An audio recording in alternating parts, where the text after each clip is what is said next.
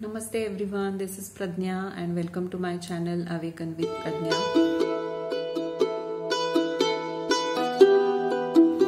Before I begin, let me wish you all a very very happy new year. We all know that 2020 has not been so easy for most of us. Let's hope that 2021 brings joy, happiness, peace, union and a lot of miracles and a lot of good things to you all those who have not subscribed to my video channel yet please do subscribe to this channel and click on the bell icon so that you get notifications. And uh, from the next year that is uh, from January I'm also going to talk about twin flame mission and twin flame ascension. Today I'm going to talk about twin flames versus soulmates and what is the similarity as well as what is the difference. Whatever I'm going to talk right now is a combination of the books I have read, the kind of interactions I have had with different spiritual masters and people who are in spirituality with great understanding as well as my own experience in my ascension process so it's whatever i'm speaking or whatever i usually speak in my videos is the totality of whatever I just shared with you. It may happen that some of you may not really resonate with what I'm speaking, or some of you may not really um, agree with what I'm speaking, but it's completely okay. If you resonate with it, you take it. As we all know, that we as souls are an energy, right? And our energy is existing in multiple dimensions, multiple realms. When we are not incarnated physically on this earth, we are existing in the form of energy in higher realms like 5D or 6D or whichever realm you are coming from. As you are a soul, you are also having a soul family. So, according to my understanding, there are seven souls in one family. So, seven souls form a family of souls, and these seven souls are bonded so closely with each other that they have incarnated with each other in numerous past lives, having different roles with each other. So, those seven souls would definitely be your parents or your siblings or your friends or anybody who is in your close knit circle all throughout your past lives. And as you have lived so many past lives together, you share a very, very close, deep, loving bond with these souls. Why seven souls and why not more? There could be different theories with that. There will be people who would tell you different numbers, different theories would tell you um, little different information which varies from whatever I am sharing right now. And seven such soul families form a soul group. So in one soul group there are total 49 souls which are again close net and they are connected to each other. So their energy vibration is also very similar. So we can technically say that all these seven souls or even your extended family as your soul group the 49 souls from your soul group are your soulmates. So as typically people feel that okay there is only one soulmate that's not true. I mean we always take this term soulmate as a typical romantic connection and we idealize that connection that okay you find the one of your life and that's the romantic partner of your life and that is your soulmate. So it is only one person. So that is not the reality. The reality is that you have 49 souls in your soul group and all those souls are very very deeply bonded with you and they incarnate with you in the physical promising you having a karmic contract with you and to lead some sort of a role along with you in your physical life. So they could be your teacher they could be your parent they could be your sister brother sibling offspring uh, close friend colleague anybody who is positively impacting your life. When it comes to the energetic explanation of a twin flame i have already explained that in one of my previous videos but just to state the difference I want to say it again that a twin flame is a part of your own soul. So if you are one soul from the seven souls from your soul family your twin flame is not going to be another soul from those seven. Your twin flame is going to be a part of your own soul. Your twin flame and you is counted as one soul in that soul family i hope you get what is a soul group which is formed out of seven souls. What is a soul family which is a group of seven soul families. So it is 49 souls in a soul group. And your twin flame is your own soul. So i hope you get what i'm trying to say here. And you understand what is the difference here theoretically between a soulmate and a twin flame I also want to talk about a karmic partner here because when it comes to a karmic partner, there is a soul who has done a soul contract with you, but they are not from your soul family. They are from some other soul family. They don't have much connect with you, but they have a lot of karma with you, either a good karma or a bad karma. And the reason why you are coming together in whichever life is to clear that give and take of good or bad karma. Not necessary that karmic partners are always having a toxic relationship, not necessary. It is very difficult to identify between a karmic partner and a soulmate, but a soulmate connection would be much more intense and deeply bonded than a karmic connection.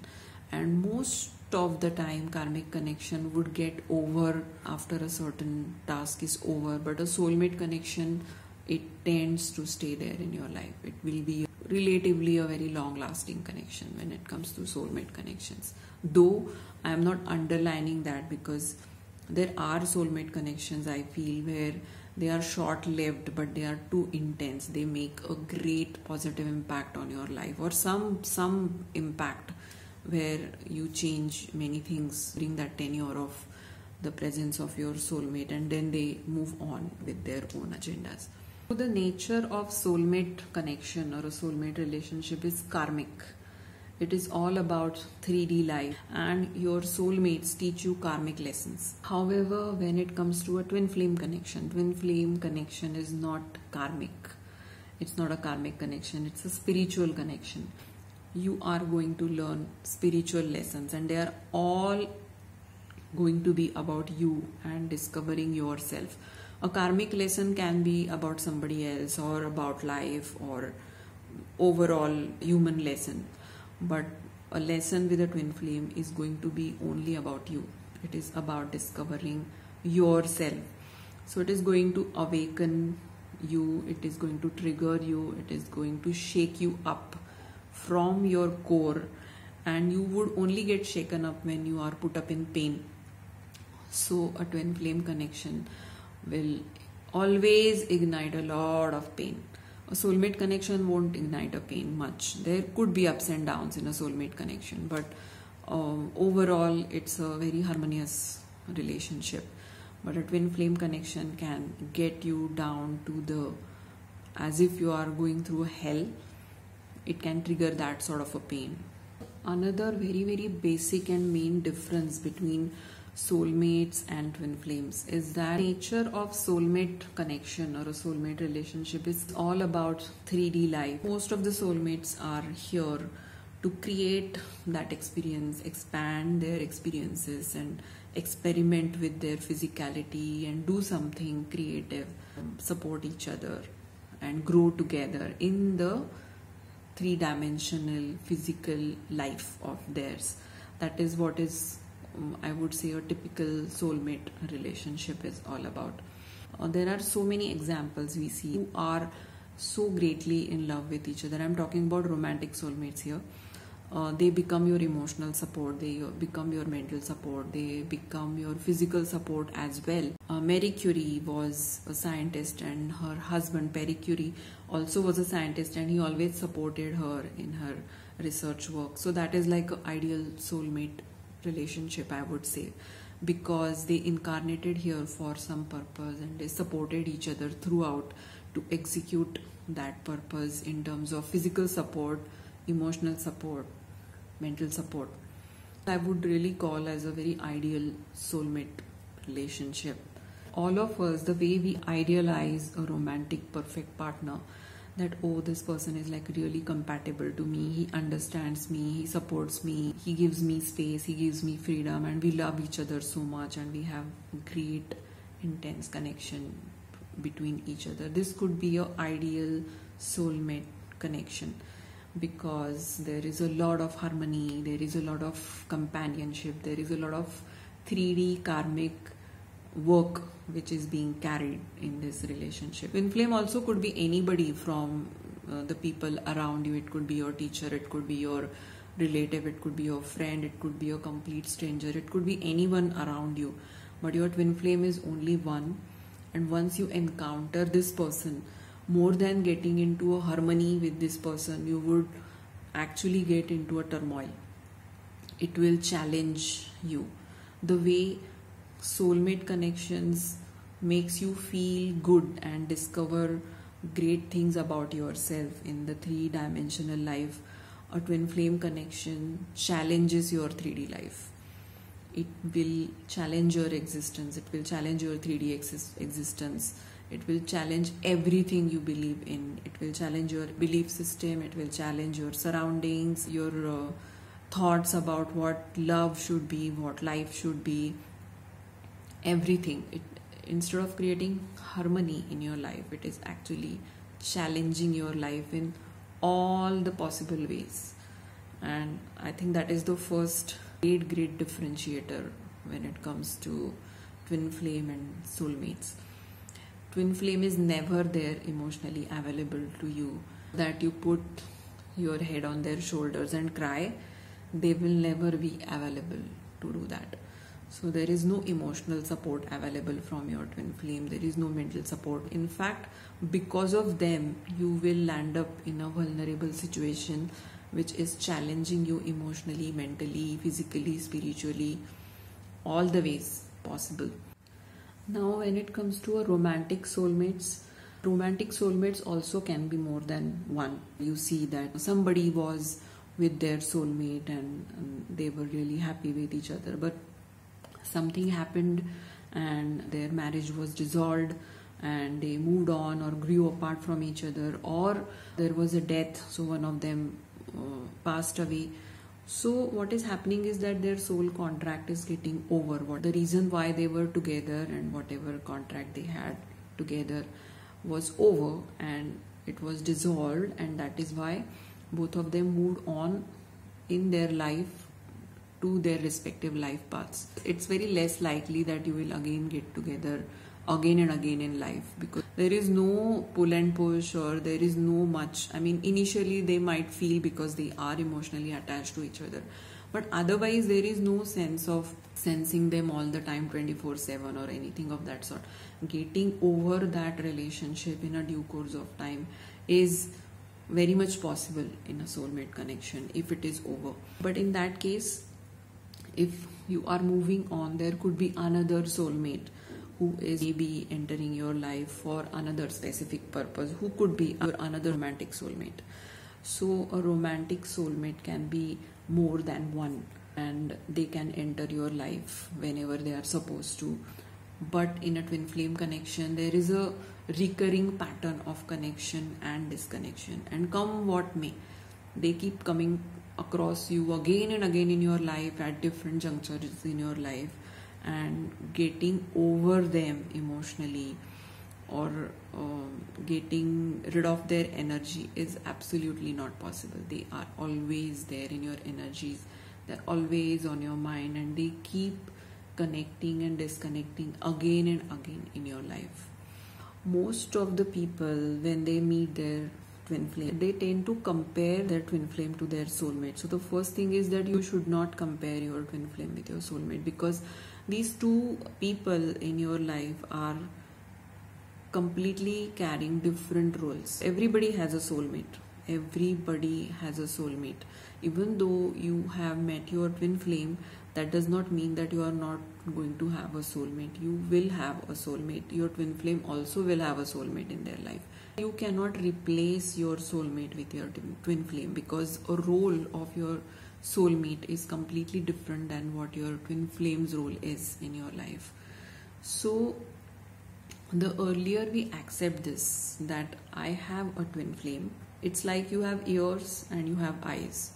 So your eyes cannot replace your ears because your eyes are carrying a task of making you see around and your ears are carrying the task of making you hear the sound around you.